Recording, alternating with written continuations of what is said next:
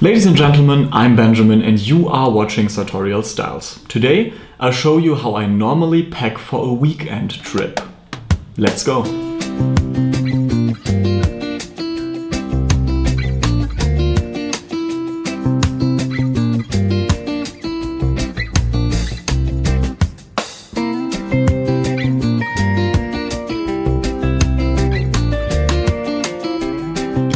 Perfect bag for a weekend trip seems to be a weekender. Mine is from Menzo, a brand from Austria that sells leather bags and wallets for very good prices. I really love the bag and especially the color and the patina of the leather, while I wish it would be a bit larger. On most trips I at least carry a messenger bag as well. Before we start with what I pack, let's talk about what I wear. Mostly I wear a full suit on the day I leave for the trip because it would be hard to fit into the weekender. Jackets are the most sensitive garments because of their structure and I try to avoid folding them into a bag. I personally recommend wearing a suit on the day of departure that can be easily broken up into separates. That's why I would rather go for this grey three-piece suit instead of my double-breasted striped suit, Wearing a striped jacket, let alone striped trousers with other items not matching the fabric is very hard, while it's easy with a solid grey suit like this. I could wear the trousers together with a blue odd jacket I put into my weekender to create a menswear uniform look. I could opt for the jacket with a pair of odd trousers, a pair of flannels for example. Concerning shoes, I try not to pack multiple pairs of shoes for a weekend trip. I know it is better to give leather shoes some time to rest, but when there is no space to fit them, it's probably fine to wear the same pair of shoes three days in a row. I always pack shoe trees as well, and that's a pretty good transition to what I actually put into my weekender. Starting with shoe trees, I sometimes also take one or two hangers with me when I know that they are not available at my destination. When I travel to a hotel, I mostly call them and ask if there are hangers available in my room and if not, I kindly question if they provide a couple of them. I also always pack my phone charger and carry my phone with me. Same goes for my wallet, including my passport and my license, my keys and my laptop, including the charger.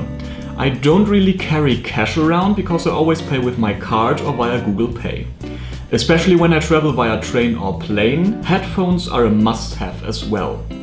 If there is no space in my weekender left, I just let them hang around my neck. It's not the most stylish option, but a kinda practical one. What I also love to take with me is a small decant of a fragrance matching the climate of my destination. I bought a dozen of these small plastic bottles on AliExpress and just filled them up with the perfume I like. Of course, I also take some shampoo, a brush, a toothpaste and that kind of stuff with me. Getting back to clothes. For a weekend trip I always pack one shirt for every day and a turtleneck as an addition. Sometimes an occasion requires something a little less formal and a turtleneck is a great substitute for a shirt that can be worn under an odd jacket. I also pack one pair of odd trousers and one odd jacket to be able to break the suit up I am wearing on the day of departure.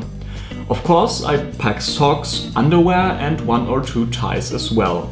When it comes to ties and pocket squares, I normally pack one or two more than I have to, because they don't gather a lot of space. Which tie I wanna wear kinda depends on my mood and I'm always happy being able to choose. I do try to plan my outfits in advance though, but sometimes I just dump my plans and go for something else. That's why it is so important to go for a neutral colored suit and odd jackets and trousers that are easy to combine. I would rather pack my grey flannels than my brown patterned wool trousers for example. Of course I also pack for the occasion. If I visit my grandparents in the high Tatra mountains I will also pack a scarf and wear an overcoat on the day I leave.